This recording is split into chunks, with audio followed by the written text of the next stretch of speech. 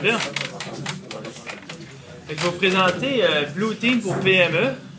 Finalement, le concept de PME, c'est plus pour dire a des petites équipes qui commencent ou des, une équipe de quatre personnes en sécurité dans des entreprises de peut-être, euh, je sais pas, je vais dire des chiffres, mais entre 50 puis mettons 2000. Vraiment, c'est pas des grosses corporates à 64 000 personnes. C'est vraiment des trucs, des, euh, des choses pour vous aider quand des fois on sait pas trop où euh, mettre la tête en sécurité en entreprise pour se protéger. On va acheter des box, on va acheter toutes sortes d'affaires, mais je vais vraiment présenter des concepts de base qui sont simples, ça coûte pas trop cher, soit zéro ou quelques piastres, puis c'est vraiment efficace. Euh, ça, c'est le plan de ma présentation. Là, je vais me présenter un peu. Je vais présenter un peu la différence entre une Blue Team et une Red Team. On en parle beaucoup dans le milieu. Il y a beaucoup de choses qui parlent des Red Team, pas mal moins sur le Blue Team. Fait que je me suis dit que j'allais faire une présentation là-dessus, expliquer un peu c'est, quoi les batailles qu'il faut avoir. Puis après ça, je vais présenter les contrôles de sécurité qu'on peut appliquer dans une, entreprise pour se sécuriser. Puis par la suite, ça va être la fin.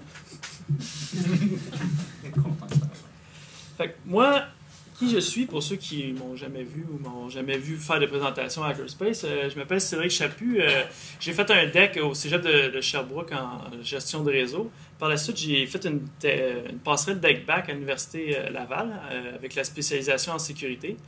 Par la suite, j'ai travaillé chez CGI, SSQ. Puis là, présentement, je suis chez ShareWeb comme, spécialiste en sécurité. Fait que c'est pas mal ça sur moi. Sinon, ben, j'aime bien ça. Ça fait depuis 2011 que je suis avec le Hackfest. Euh, là, je suis pas mal responsable de tout ce qui est les, compétitions. Puis euh, comme euh, aujourd'hui, le HIAC, ben, ça, j'ai pas mal organisé le, plus gros. Puis pour ceux qui vont participer à soir au CTF, ben, j'ai hâte de voir. Parce qu'on a monté de quoi vraiment cool. Fait que la différence entre un. Ah oui, ça, ça, ça, faut que je vous le dise, parce que j'avais peur que ma présentation soit plate. Fait que j'ai mis plein d'images de chats OK? Euh, si jamais euh, ça vous allume peut-être plus que la sécurité. Non, non, je, plaisante, mais euh, j'ai d'avoir un chat, fait que là, j'ai mis des photos de lui juste pour que ça soit un peu plus que la différence entre une blue team et red team, finalement, c'est un concept vraiment simple. Red team, c'est les attaquants, blue team, c'est ceux qui défendent. Puis, finalement, le, blue team, c'est vraiment l'équipe interne de sécurité qui va vraiment s'assurer que, vérifier que tout est compliant. Ça, c'est un mot général, mais qui, euh, que les défenses sont suffisantes. Puis la Red Team, c'est celle qui va attaquer, que par le fait même, elle va aider la Blue Team à savoir ses lacunes au niveau de sa défense. Fait que souvent, il y a des exercices Red Team, Blue Team, puis c'est carrément ça. Puis souvent, dans les entreprises matures, euh, qui ont vraiment des gros... C'est vraiment, bon, on a assis l'équipe Blue Team là, l'équipe Red Team attaque, voyez ce que vous pouvez voir, voir si vous les détectez, si vous êtes capable de les empêcher ou si vous êtes capable d'avancer j'ai pas vraiment assisté à des résultats, mais souvent la Red Team se rend bien loin avec la Blue Team, la voix de quoi. Mais c'est pour ça qu'aujourd'hui, je veux présenter un peu les outils qu'on peut s'aider pour avoir justement les voir venir. Puis le Red Team, ça peut être des équipes internes, mais qui sont dédiées à ça. Attaquer tout le temps l'infrastructure pour, pour aider la Blue Team à avoir ses, faiblesses au niveau du, du, réseau ou vraiment de, l'implémentation, euh, comment c'est fait. Puis, ou ça peut être des firmes externes. Fait que ça peut vraiment être une firme. Euh, externe qui qu'on donne un mandat de venir nous attaquer dans, le but de, renforcer notre équipe. C'est pas mal ça. Sinon, on va passer au contrôle de sécurité qui peut être intéressant à, appliquer euh, en termes d'une Blue Team. Le premier, la gestion d'inventaire des équipements et logiciels. OK? Sincèrement, à faire, c'est plate en crise, mais pour vrai, c'est vraiment utile. C'est, puis dans le, le SANS Top 20 euh, Security Control, c'est le premier, c'est le numéro un, c'est en haut. Puis j'ai pas vu beaucoup d'entreprises qui l'ont, ça. Puis c'est super simple, c'est juste, j'ai la liste de tous mes actifs euh, informatiques ou puis ma liste de software. C'est juste ça. Mais en ayant ça, tu as vraiment une meilleure vision de, de ton parc, ce que tu as à protéger. Puis ce que ça permet aussi, c'est ça. Un peu comme là, j'ai écrit une petite joke. Là, euh, quand tu vois une IP qui fait du bruit de force, c'est comme c'est quoi cette IP-là Attends, on va essayer de trouver c'est quoi. Puis là, tu, tu perds du temps à essayer de deviner c'est quoi. Si tu es un attaquant, si tu es un de mes serveurs? Puis là, avec, tu dis bon, ben maudit, c'est encore le serveur des devs qui est compromis. Ils viennent de se monter un Windows 2003. Tu, tu as vraiment un suivi de ça. Tu es capable d'avoir la liste. Bon, ben j'ai 6 Windows 2003 dans mon entreprise. Pas, j'en ai, je sais pas. C'est vraiment une, différence qui est vraiment flagrante là, entre je sais qu'on a, euh, on les protège, je pense. quand tes sollicités, tu sais sont où, tu es capable de mettre des, des, des, actions sur les autres pour réduire les risques puis tout. Fait que ça, c'est. Puis comme je dis, c'est vraiment pas le fun en tant que, que personne s'occuper de la gestion d'inventaire. Ça n'a pas obligé d'être dans l'équipe Blue Team qui s'en occupe, mais ça en, en prend une. Puis vraiment, le, le, Blue Team, son, rôle, c'est plus de s'assurer qu'il est à jour puis qu'il est maintenu. Puis euh, euh, il y a une autre affaire qui est vraiment importante. Mettons qu'il y a une nouvelle CVE qui sort sur IIS. Là, j'en ai inventé une. En 2018, il y a un Remote Code Execution sur IIS. Tu peux euh, en avoir des, requêtes HTML boboche craftées. Tu peux exploiter un IIS. T'en as combien d'IIS dans ta compagnie? C'est quoi les serveurs qui sont vulnérables? Avec ça, c'est super facile de dire, bon, ben, moi, je sais que j'ai 14 AIS, c'est tel serveur, tel serveur, tel serveur. OK, on patch en fin de semaine. C'est rapide. Mais c'est pas Comme je dis, c'est pas une chose agréable, mais c'est très important. Euh, présentement, chez, chez je suis en train de déployer une, solution d'inventaire. Puis c'est carrément, on a l'inventaire, on a tous les, serveurs. C'est quoi les IP qui sont attachés euh, au serveur? Puis euh, aussi, on fait de la détection. Fait qu'on scanne les subnets tout le temps pour savoir s'il y a des nouvelles IP. Puis justement, mettons que l'équipe infrastructure monte une nouvelle machine, ben, notre scanner va la pogner. OK, là maintenant on peut la rajouter dans notre, nos processus, on peut savoir qu'elle existe, c'est facile de. Puis eh, c'est-tu normal qu'elle soit montée en prod? Tu sais, des fois, c'est c'est une machine de dev, tout croche, puis c'est même pas euh, réglementaire, n'est pas euh, tout croche. Fait que c'est vraiment des, des, des, petits, c'est des petits contrôles. Moi, c'est un petit script Python, je me fais, il scanne les networks, puis il m'envoie un courriel quand il y a des nouvelles IP ou quand il y a des IP du. Euh, de, notre inventaire qui ne répondent plus. Ça aussi, c'est un inventaire. L'avez-vous décommissionné? En le décommissionnant, ça a-tu bien été fait? Y a-tu des règles de faveur qui restent, qui traînent de, ces IP-là?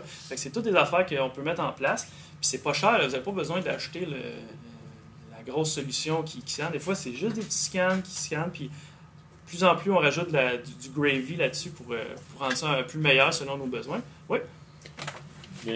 Saute peut-être des étapes dans ta présentation. mais, la prochaine étape là-dedans, si on, souvent, qu'est-ce qui est oublié aussi, c'est de faire le pont avec les lignes d'affaires. C'est quelle ligne d'affaires qui utilise quel serveur pour qu'on sache dans quelle mesure ça affecte la business quand il y a une problématique qui est détectée. Parce que sans ça, sans savoir quelle ligne d'affaires qui utilise quoi, ben, des fois, c'est difficile de faire valoir notre point pour mettre à jour des. Après, faire appliquer des patchs ou quand, savoir quand on peut les faire. Bon point, bon point. Puis, euh, ouais, euh, n'hésitez pas à m'arrêter. Le, but de la, discussion, c'est ma vision de ce que je pense qui est important puis qui coûte pas cher. Mais si vous avez une vision différente, des ajouts à faire, euh, gênez-vous pas, je suis ouvert aux, discussions. Puis, mais non, mais c'est un excellent point. Puis c'est toujours, c'est ça qui est important, puis j'espère que ça va ressortir un petit peu, il faut toujours être en ligne avec la business. On, a beau des fois partir sur des fabulations de la sécurité, il faut, tout protéger, puis des fois c'est juste, ça ne suit pas la, business, puis tu, nuis plus la business que d'autres choses finalement. Il faut vraiment suivre le. le J'ai pas d'exemple concret, mais. Euh, sinon, le prochain contrôle, qui est quand même simple à faire, c'est la gestion des vulnérabilités et des mitigations. Une fois qu'on a notre inventaire, on les a toutes nos postes, ben là, on peut rouler des scans de, vulnérabilité. Mais ça, comme je dis, la gestion des vulnérabilités, c'est plus que juste un, scan Nessus. C'est pas juste je scanne, je trouve des vulnérabilités, j'en patch. C'est vraiment, une fois qu'on a l'inventaire, on scanne tout ce qu'on a, on sort les vulnérabilités, puis là, on a une liste active. Fait qu'on sait qu'est-ce qui est vulnérable sur notre parc. Puis les, vulnérabilités peuvent venir de autres sources que les, les, scanners de vulnérabilité. Ça peut venir des pentests, de découvertes qu'on a faites. Parce que des fois, il scanners de vulnérabilité, ça ne vaut pas tout. Ça vaut toutes les low-hanging fruit ou les choses faciles à, voir. vous allez avoir une liste de tout ça. Puis après ça, une fois que, mettons, un exemple, Windows 2003, ça, c'est un, il, est considéré comme euh, critique parce qu'il est plus supporté.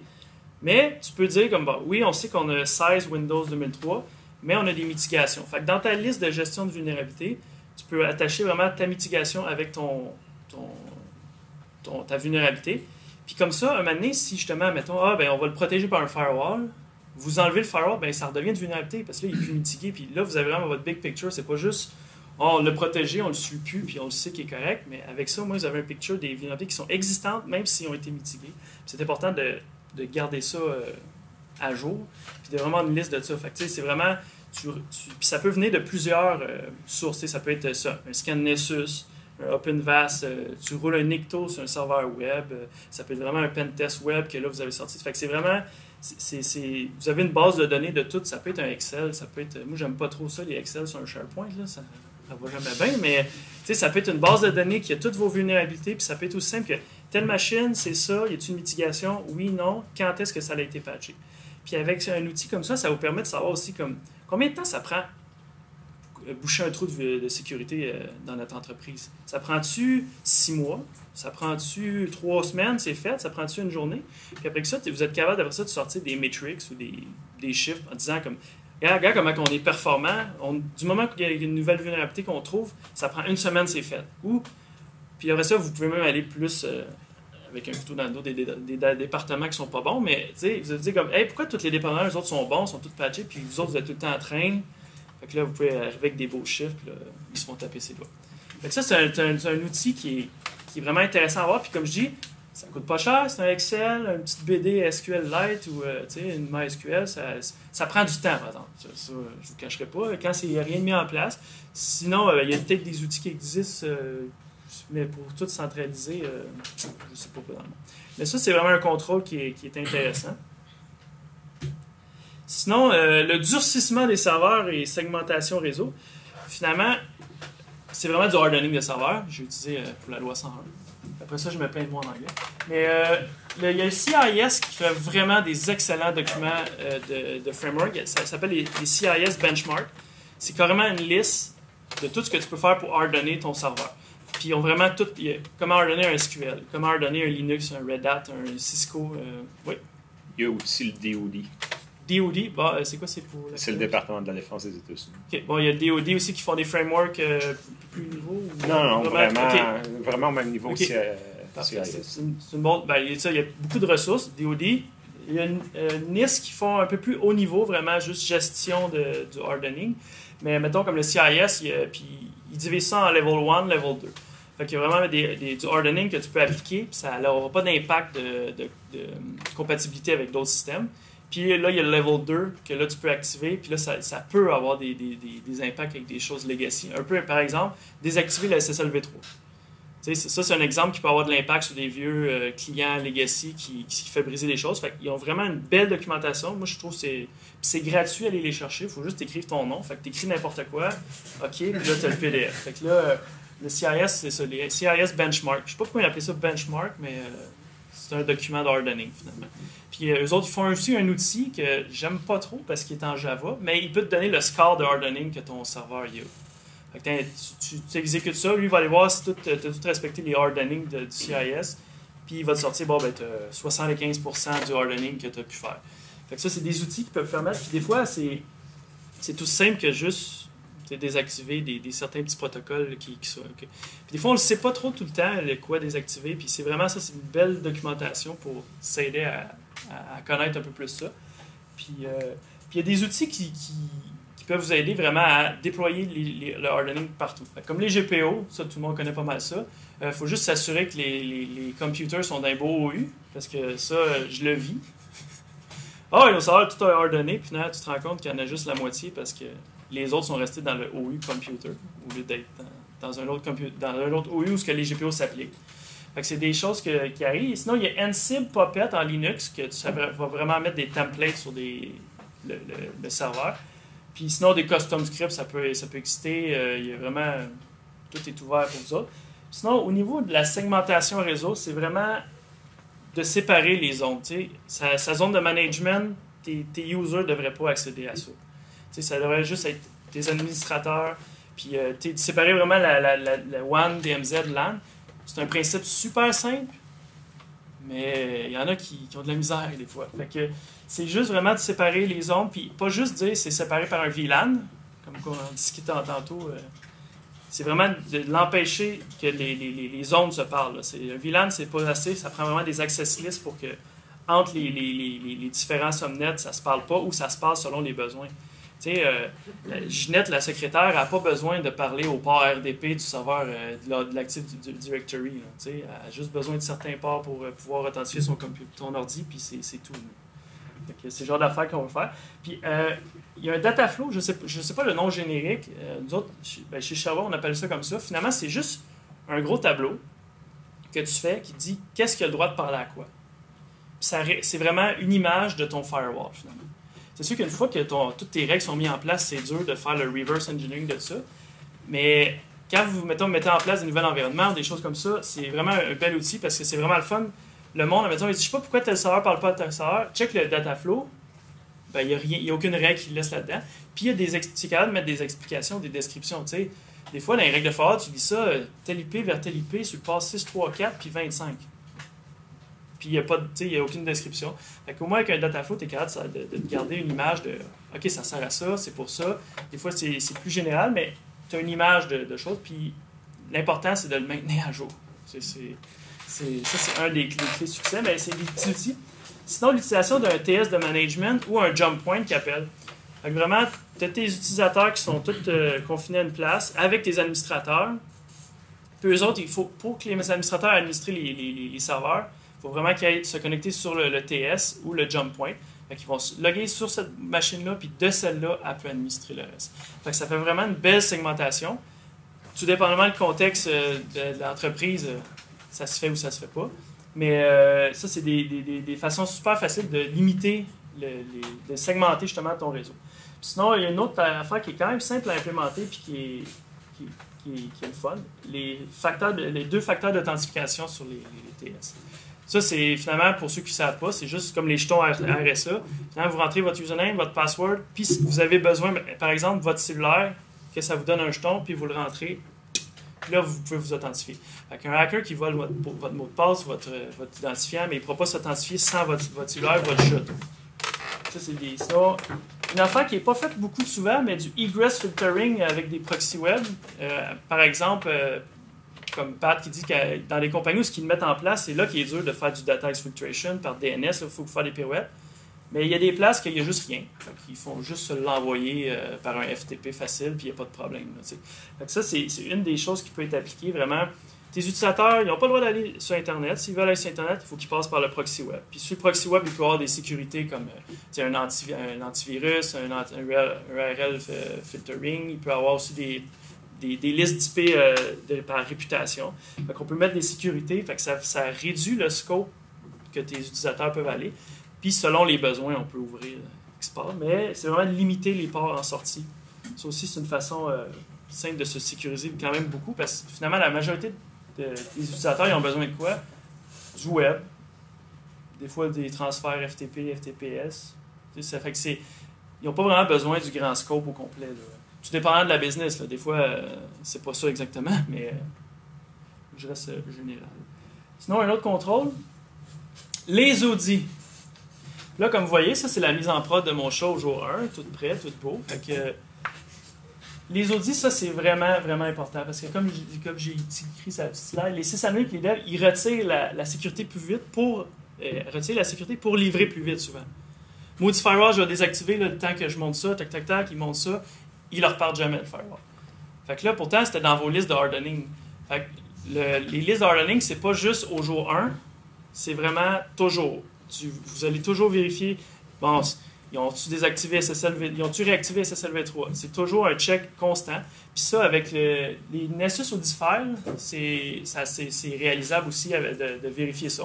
On peut, vraiment se faire un template qui dit, bon, ben, l'ordinateur pour être compliant euh, du hardening, il doit avoir ça. Fait que vous scannez, mettons, vos ordinateurs aux deux semaines, aux semaines, selon les besoins.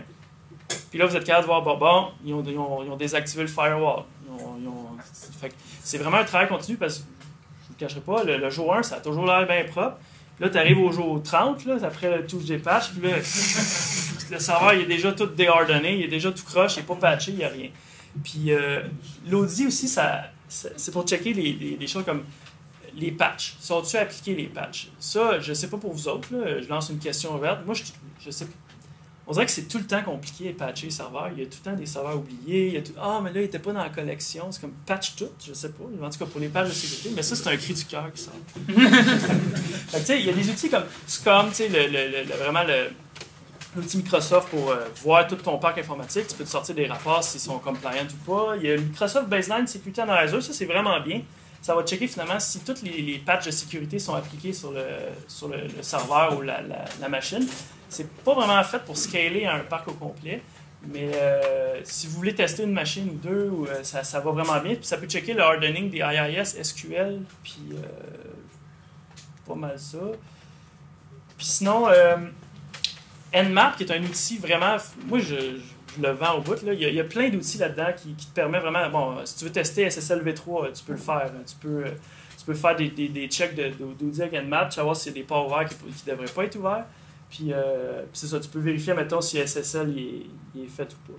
Fait que c'est vraiment important de suivre l'état de son père. Puis justement, une fois qu'on a, euh, une a l'inventaire, c'est facile de faire un audit après ça. Parce que vous savez ce qui est normal, ce, qui ce, qui ce que votre parc a. Puis mettons, bon, ben, sur mes IIS, moi, c'est supposé être ça. Bon, ben, tu, sors de ton inventaire tes IIS, tes scans, bon, ben, ils, respectent ou pas. Fait que c'est des, des, petites, euh, des petites choses qui, qui, sont faciles à faire. Fait que c'est ça. après, le touche des pages de Microsoft, là, pas patché pantoute.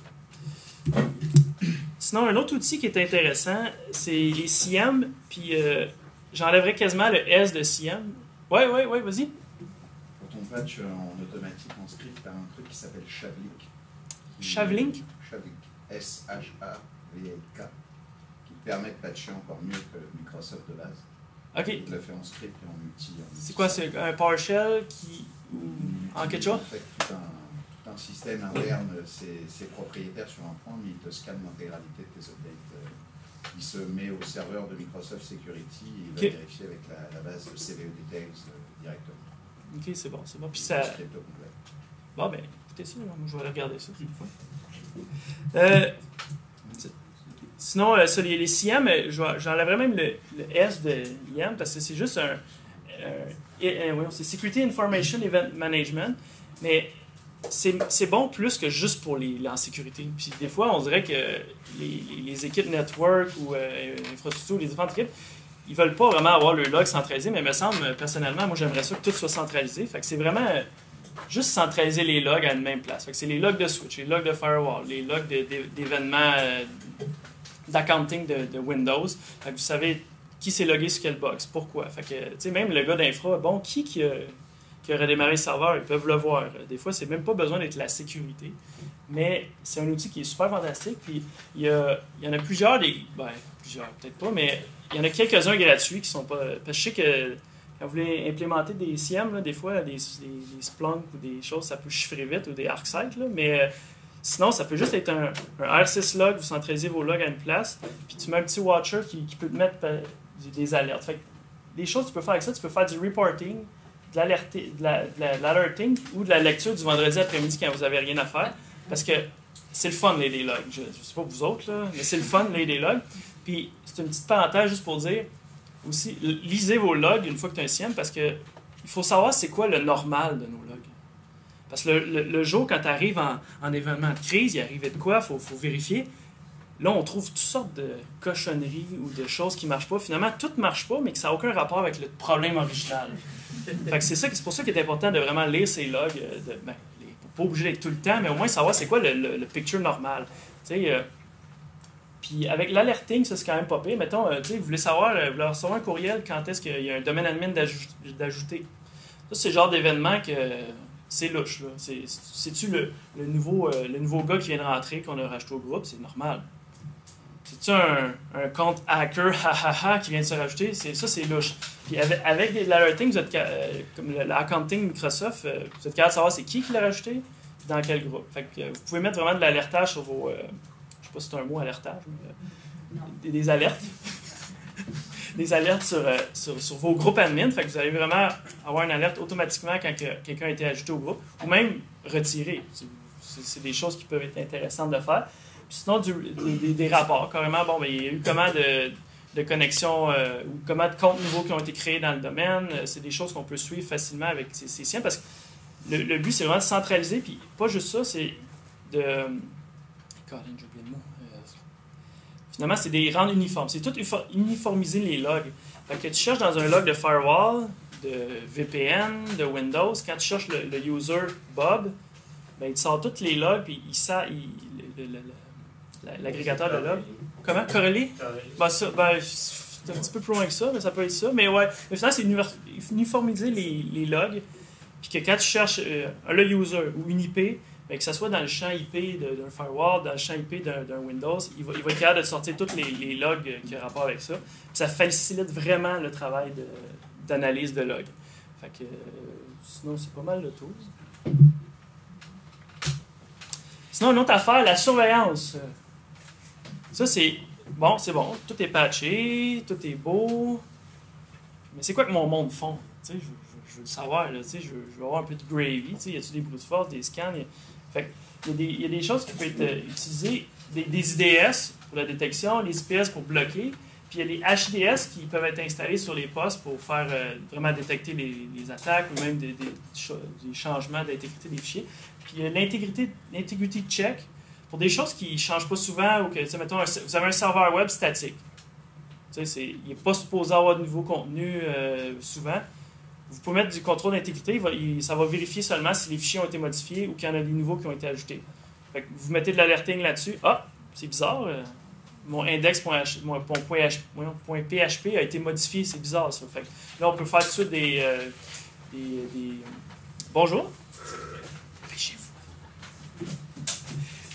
Mais euh, fait c'est ça, on peut faire vraiment de, l'alerting avec ça, puis euh, comme ça, on peut prendre les, actions pour corriger tout de suite. C'est-tu normal? C'était une mise à jour ou c'est un hacker qui nous a eu? Fait qu'on peut tout de suite prendre des actions rapides pour pas que ça, on se fasse avertir par le Journal de Montréal. Ouais, vous êtes fait défacer votre. Euh, tu sais, on veut vraiment être proactif. Là, puis il y a un petit concept qui est quand même le fun, la vigie.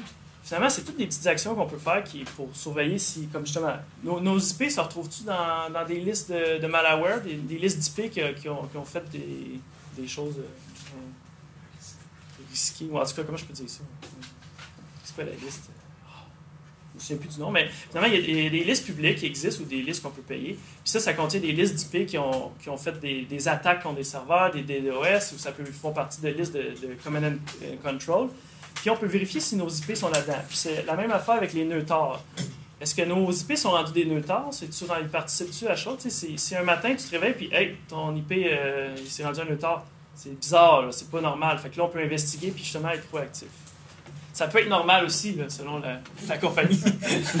ça peut être de la recherche. C'est comme je dis, il faut vraiment s'aligner avec la business puis euh, puis, euh, pousser dans le bon sens pour, euh, euh sinon, les ports externes ouverts, c'est un petit check qu'on peut faire facilement.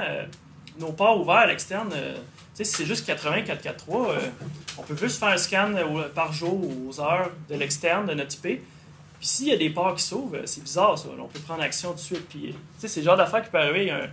Il y a, une erreur sur le serveur. On, récupère un vieux backup qui n'avait pas le firewall dessus.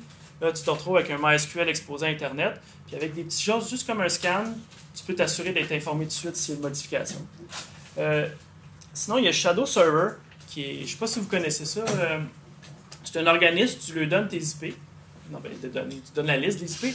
Puis euh, eux autres, ils vont t'avertir si, ah, il y a un MySQL Internet Facing. Ah, on a trouvé du SNMP public. Ah, on a trouvé. Fait qu'ils vont vraiment t'alerter s'il y a des choses.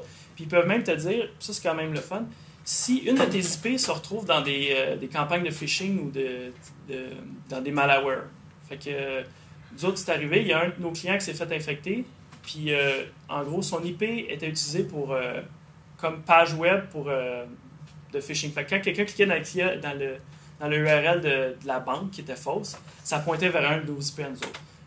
Là, encore une fois, c'est ça, tu veux prendre action, tu veux, tu veux, tu veux pas que ça reste de même, à moins que c'est ça le but de la compagnie. I want to get pound, là, tu veux tout faire hacker.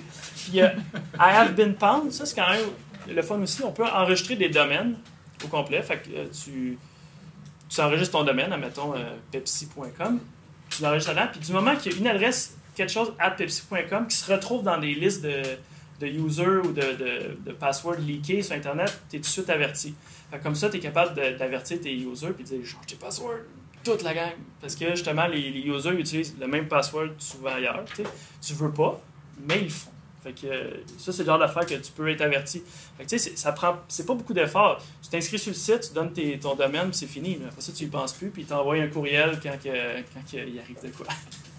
c'est des petites actions qu'on peut faire pour vraiment euh, augmenter notre, notre, euh, notre sécurité puis à, faible coût.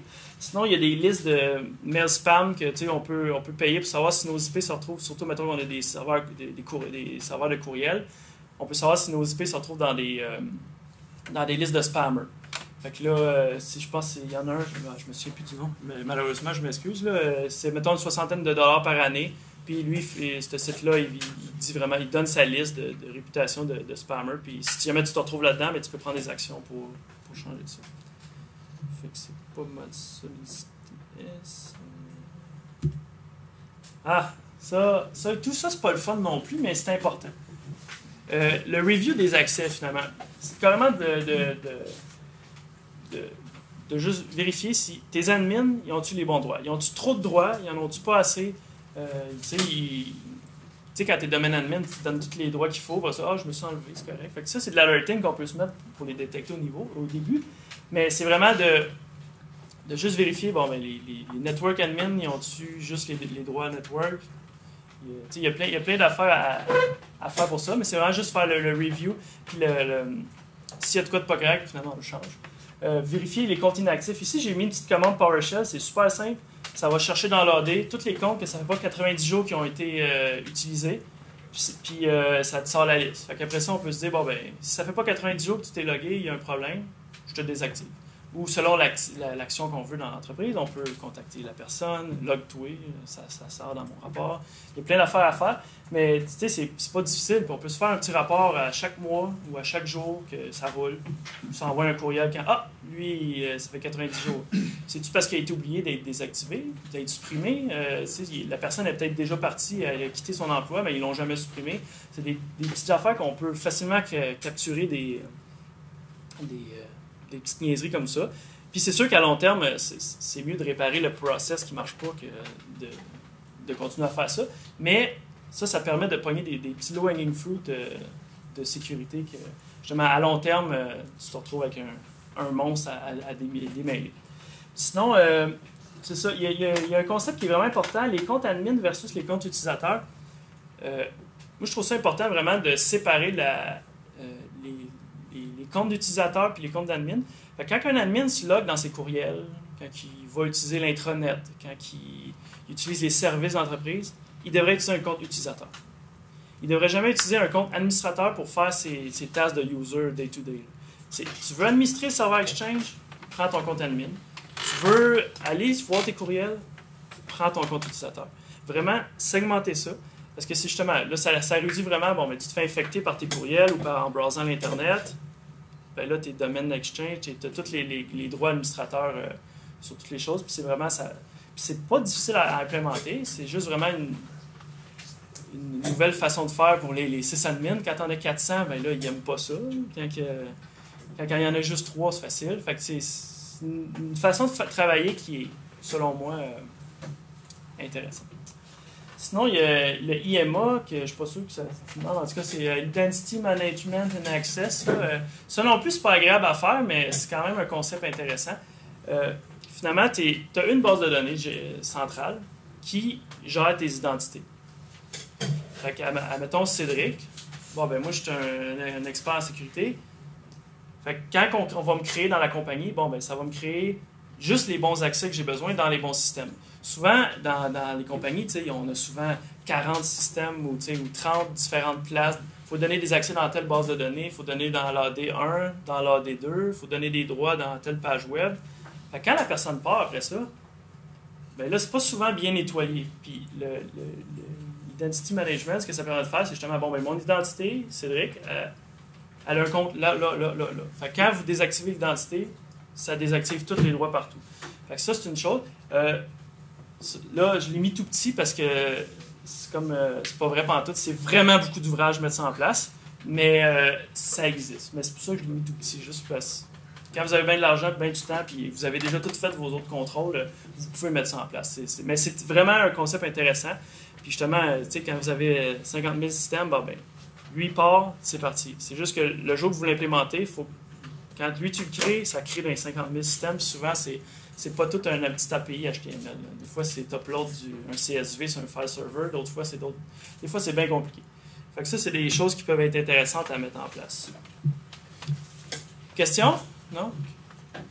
la gestion d'incidents, là, c'est. Là, c'est ça, je vais enlever un peu la lourdeur des fois qu'on se met de ça. Des fois, c'est pas juste. C'est pas d'écrire un document de 400 pages là, qui, là, qui fait référence à ça d'affaires. Finalement, c'est juste de savoir qui que quoi, dont où, comment.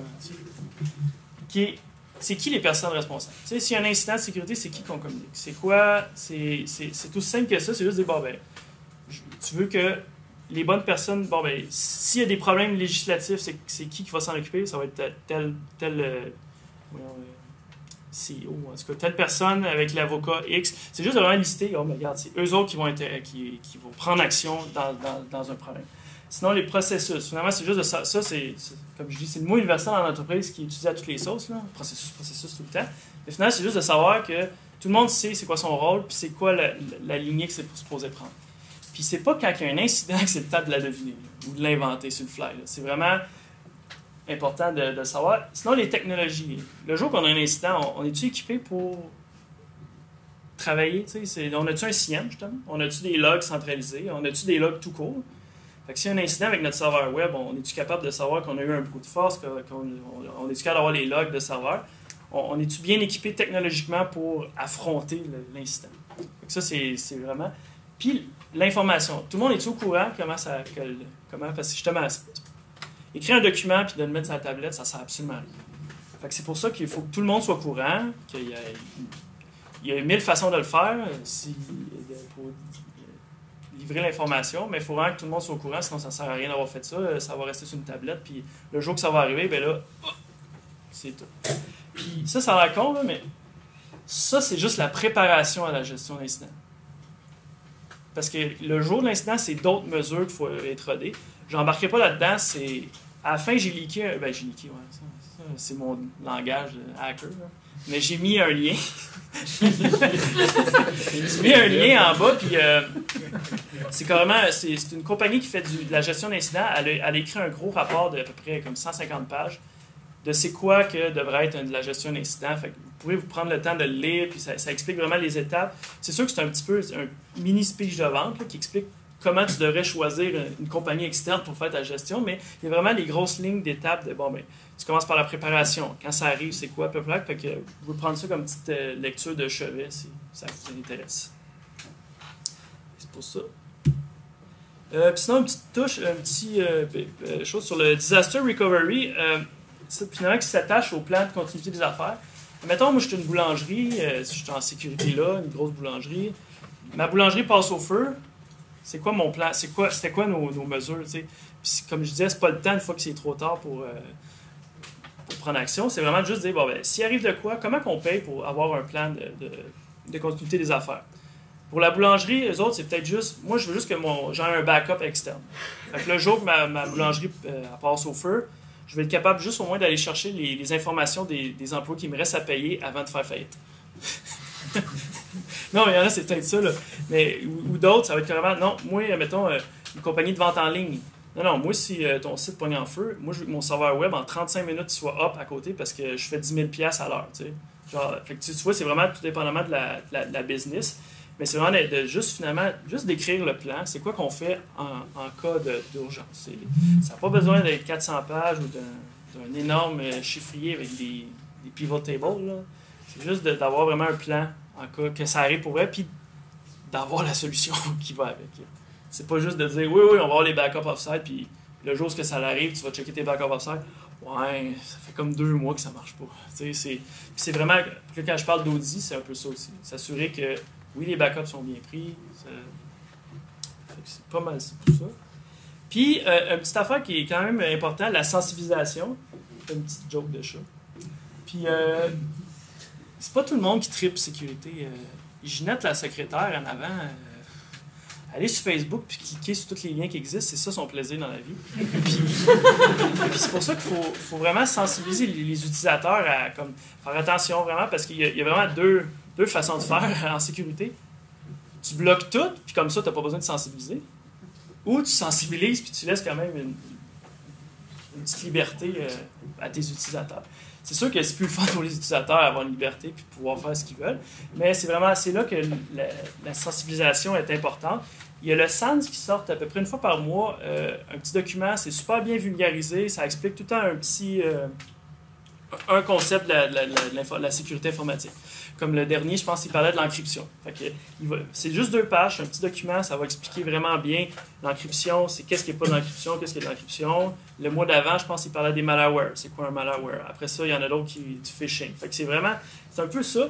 Euh, la meilleure façon, j'ai pas de solution, je n'ai pas vraiment travaillé en sensibilisation, je trouve ça important, mais j'ai pas la solution malheureusement pour, euh, pour vous, quelle est la meilleure approche. Euh, moi, ce que je trouverais drôle de faire, c'est carrément faire une campagne de phishing, puis pointer du doigt les gens qui cliquent dessus, puis rire deux autres forts devant tout le monde au party de Noël. Mais je pense pas que c'est la meilleure approche, mais, euh, mais ça serait drôle en estime. Mais il y a, il allez voir des experts autres que moi pour la sensibilisation. Mais ça, c'est des choses qui n'ont pas besoin de coûter cher. Ça peut être euh, la petite news par mois dans, dans, dans dans l'intranet, ça peut être un petit courriel. C'est juste faut rendre ça agréable parce que le user, à la base, il n'aime pas ça. Fait qu'il faut mettre une touche d'humour, il faut mettre du flafla ou du, plaisir à, ce qu'ils viennent le lire parce qu'on sait tout le monde. T'envoies un long courriel de même, ils liront jamais ça, puis ils vont faire sécurité. Ils vont faire une, règle automatique dans leur Outlook pour la crise au vidange. C'est pas ça qu'on veut. On veut que ça soit le fun puis agréable, puis, euh, puis que les gens se sentent sensibilisés, puis qu'ils sentent peut-être euh, que les données de l'entreprise sont importantes j'avais vu une étude que je pense que à 50$, l'utilisateur donnait son username et password à la personne dehors. Il dit Je te donne 50, tu me donnes ton username password Ouais. tu sais, c'est ça, c'est là la sensibilisation elle rentre en, jeu, c'est que faut qu'elle se sente interpellée ou euh, comme elle dit non, euh, mon password, c'est mon password, c'est important, c'est pour la compagnie. c'est vraiment d'attacher un peu, euh, sensibiliser, parce que sinon, eux autres, c'est ça, puis ils savent pas. Nous autres, on est dans ce monde-là principalement, où on, s'intéresse. Si vous êtes ici, en tout cas, j'espère. Pas juste pour me voir. non, non, mais c'est ça. Fait que c'est vraiment de rendre ça intéressant pour les gens qui, finalement, qui s'en foutent ou que ça les intéresse pas. Fait que ça, c'est une autre chose importante qui coûte pas cher, qui n'a pas besoin de coûter cher. Ça peut coûter cher, mais ça n'a pas besoin. Puis sinon, de la formation continue. Ça, euh, il y a plein de façons, il y a plein de sources. Euh, les gens ils aiment ça, la catégorie. Euh, la formation à plein de dollars, là, vous, pouvez faire des, pouvez aller faire des, formations du SANS à 5000$ ou, ou aller un peu n'importe où. Ça existe, ça se fait. Sinon, il y a des blogs qui existent, comme le, blog du SANS. Là, je, sais que je référence beaucoup de SANS, mais ils, produisent beaucoup de contenus qui sont vraiment agréables et intéressants à, lire sur beaucoup de plein de sujets de, la sécurité. Puis, euh, fait il y a des blogs, des mailing lists ou des podcasts. Sur l'adresse a là, c'est c'est une liste de tout, plein, beaucoup de podcasts puis des, des, mailing lists qu'on peut s'abonner pour avoir de l'information. Euh, sur les réseaux sociaux, Twitter, Redis. Euh, sinon, faire des CTF comme celui du, du IAC de tantôt. Ça, c'est une excellente façon de, de, se mettre dedans. Puis, euh, ou juste des projets perso. Tu sais, dans votre entreprise, il travaille gros avec des, des, serveurs web. Vous connaissez rien en web, mais vous êtes en sécurité. Vous êtes obligé de le savoir. Fait que euh, vous formez là-dessus, vous montez un serveur, vous apprenez, vous lisez de, par vous-même, euh, vous essayez de sécuriser votre serveur web, trouver les, trous, participer à des CTF, faire les, les, tracks de web. Fait que là, vraiment, vous alignez vos recherches pour que ça, ça, reflète un peu la business aussi, pour que justement vous soyez meilleur pour sécuriser les, la business finalement. Puis euh, sinon, sinon c'est ça. Il y a pas mal tout plein de, de façons de se former. C'est juste, c'est important de continuer. Parce que arrêtez de vous, vous, former pendant 5 ans en sécurité, là, euh, vous allez être vraiment dépassé. C'est un, un, monde qui va, aussi, qui va aussi vite, si pas plus, que l'informatique tout court. Fait que c'est important vraiment de se mettre euh, de se former à ça. Puis comme je dis, ça n'a pas besoin de coûter cher. Un podcast là, ou aller au Wackfest, par exemple, ça, ça coûte pas cher, ça. Moins cher. Bien moins cher. c'est le genre d'affaires qui, qui, sont possibles de faire. Puis ça, c'est une autre petite affaire. Euh, trop de contrôle, c'est comme pas assez. Si on limite tout, on barre tout, euh, plus capable de rien faire, ben, les utilisateurs, ce qu'ils vont faire, eux ils vont se trouver d'autres affaires pour passer à côté. Puis c'est peut-être pas le. c'est peut-être encore moins sécuritaire que la façon originale qu'ils travaillaient. Puis là, un peu comme j'ai ici, si tu enlèves par exemple un, un, ben, si tu un outil, justement, ils vont trouver peut-être un autre outil qui va moins bien. Euh, ça peut être juste comme à, vous bloquez le FTP, ah non, on l'enlève, c'est pas sécuritaire, mais vous donnez aucun autre outil. Qu'est-ce que les gens vont faire? Pas de trouble, je vais transférer les datas super confidentielles sur mon Dropbox, puis je vais aller le rechercher plus loin à côté. C'est des affaires qu'ils vont être capables de faire ou qu'ils vont faire parce que ils veulent travailler. Ah, la sécurité, c'est ça, un peu comme la sensibilisation. C'est pas le, même problème. Les autres, il faut qu'ils livrent. souvent, il faut juste leur donner des outils. Non, on va enlever le FTP, mais on va mettre un FTPS à la place. Là, ça va donner. C'est vraiment juste remplacer un outil qui est, moins sécuritaire par un plus sécuritaire ou vraiment bulletproof. Mais pour que justement, il soit capable de travailler. C'est ça le but, encore une fois, pour s'enligner avec la business. C'est ça l'objectif. Bon, là, on a tout fait ça. Qu'est-ce qu'on fait? Ben, on relaxe. tu sais, on prend, on, prend, on prend ça chill, tu sais. Oh, ok, là, euh, on, on fait on, on s'assit, puis on, reçoit notre paye, puis on fait plus rien. Mais non, Asti! hey, ça serait bien trop facile. C'est là que la Red Team embarque. Là, on a tous nos contrôles, on a toutes nos affaires, on est bulletproof, on est sûr. Là, on appelle Red Team, on est prêt. Puis là, vous faites votre, euh, votre test. Puis des fois, la première fois, ça peut faire mal. Vous vous rendez compte que, ouais, finalement, mes contrôles n'étaient pas assez. Mais c'est là la beauté de la chose, c'est que c'est pas des hackers, autres, c'est des gens qui sont là pour trouver les trous, puis vous avertir avant que les vrais hackers y arrivent.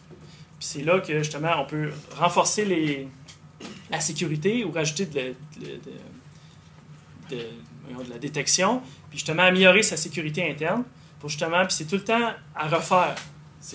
On fait ça selon la business aux six mois, aux trois mois, aux un an, ça dépend toujours. Puis comme je dis, ça peut être une équipe interne, ça peut être une équipe externe. C'est, dans tous les cas, ça fonctionne. Il faut vraiment juste que la, la, Red Team, euh, tu sais, elle veut. Il faut qu'elle faut qu'elle hack. Il faut qu'elle se rende le plus loin possible qu'elle fasse du dommage pour que la Blue Team puisse devenir meilleure. Puis un jour, peut-être, que la Red Team, elle fasse rien puis qu'on rit. C'est ça l'objectif ultime. Mais ça va être dur en crise. Parce que comme Pat dit, il y a toujours des trous quelque part. Puis qu'on oublie toujours de quoi. Ou c'est une petite madame qui, elle, ah, c'est quoi ça? Puis la clique, puis on manquait un petit peu de sensibilisation finalement. au début, peut-être pendant six mois, on a donné beaucoup. Là, là on se rend compte que les utilisateurs sont moins sensibilisés. Il faut redonner de du. C'est toujours un, un, travail, un travail tout le temps sans arrêt. Puis comme ça, après ça, on peut arriver avec une vraie informatique sécuritaire. Question? Ah ouais, là, ah ouais, là. Euh, pas de questions, de remarques? Oui. Euh, pas laisser les utilisateurs admin leur poste? Oui. Mais ça, implique l'autre. Non, mais ça, ça, peut. Le review des accès, ça rentre exactement dedans. Je n'ai pas parlé, puis j'ai oublié beaucoup de choses, c'est sûr. Puis c'est une excellente affaire. Les utilisateurs devraient jamais admin de leur poste. C'est, même les admins ne devraient pas être admins de leur poste quasiment. Ça doit être restreint au le plus possible. Mais en même temps, là, ouais, il faut que je m'installe un flash. Ouais, mais ça, rentre dans l'autre. Si ça revient à ta slide, il y a trop. Euh, ça, trop, mais pas assez. Ah, ouais, c'est ça. Il faut essayer de chercher un, un, un, juste milieu sans réduire la sécurité de l'entreprise. Mais c'est ça. là, ça a l'air facile, je vous le garoche, là, mais c'est beaucoup d'heures de travail. C'est beaucoup de travail. Ça, si vous êtes tout seul, euh, non, je sais pas. Si vous êtes non, mais il y en a qui sont tout seuls à se battre contre les départements, puis c'est carrément, des fois, c'est. Toi, tu sais que ça devrait être correct, mais c'est là. Ils sont déjà overbookés, le département X, puis ils ont déjà trop de travail. Ils essayent, là, ils veulent. Vous êtes sûr qu'on prend la sécurité? Ou des fois, tu vas peut-être tomber avec des départements que les autres s'en calissent puis tout, c'est super important. Puis là, c'est ça. Là, c'est une guerre politique. C'est même plus de la sécurité, mais tu sais, c'est des contrôles qui peuvent être appliqués, puis ça, ça sécurise quand même.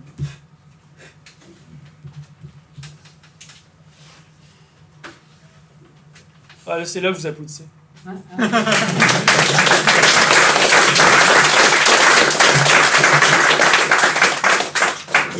fait que Là, les, conférences sont filmées. Je on va probablement mettre, vais ma présentation euh, pour que vous pouvez aller voir les, petits liens. Euh, c'est. Trust Approve ici, la, chose que je vous parlais de gestion d'incidents. Ils ont vraiment un gros guide énorme. C'est vraiment expliqué, puis il y a des beaux petits schémas, puis c'est quand même très bien fait. Puis sinon, il y a d'autres petits euh, liens qui, comme le Shadow Server, Have, been, have I Been Pound, il est dur à dire c'est disponible pour vous aussi. Euh, sinon, probablement, je vais mettre les slides aussi sur mon blog, là, qui est... Euh, oui? C'est livre tu avais donné tantôt qui, disait, qui expliquait certains trucs informatiques pour les non-informaticiens? Pour les non-informaticiens? Ouais, ah, le Sans, euh, les, euh, les Ouch, euh, je me suis mis là-dedans, le Ouch? Le premier dans... Ben ça, c'est les top 20 des Security Control. C'est un petit peu ce que j'ai parlé. Ça, ça aussi, c'est vraiment un document intéressant. C'est un petit peu ce que j'ai parlé, encore plus loin. C'est vraiment un gros document bien détaillé. Puis ils, mettent en ordre de priorité. étrangement, c'est la gestion d'inventaire qui est en haut. C'est con, mais c'est pas le fun, mais c'est vrai. C'est là que. Parce que, mettons, vous mettez un IPS en place, ah, protège qui est en arrière. C'est quoi qui est en arrière? Euh, ben, les serveurs tu sais, c'est beau de mettre un IPS à 50 000 100 000 mais si tu le fine-tunes pas pour euh, refléter ce que tu en arrière, ça sert à rien. Ou tu vas peut-être te protéger de certaines attaques, mais c'est là qui était vraiment important. Puis, euh, ouais, c'est ça. Ben, le Sun Ouch, finalement, j'ai pas mis le lien, mais. Euh, troisième. Troisième? Ben oui, oui, c'est vrai ça. Ok, c'est celle-là, excusez. Je jouais mal, j'étais en diagonale. Mais, ouais, il y a ça. Fait que là, c'est sûr, du 2016, ils en ont plusieurs années de, backlog. C'est des choses qui peuvent être soit utilisées directement ou modifiées pour. Euh, puis il y a toutes les langues français, anglais, euh, espagnol tout dépendamment si vous travaillez dans un environnement euh, multilingue. Euh. Fait c'est tout. Merci euh, de votre écoute.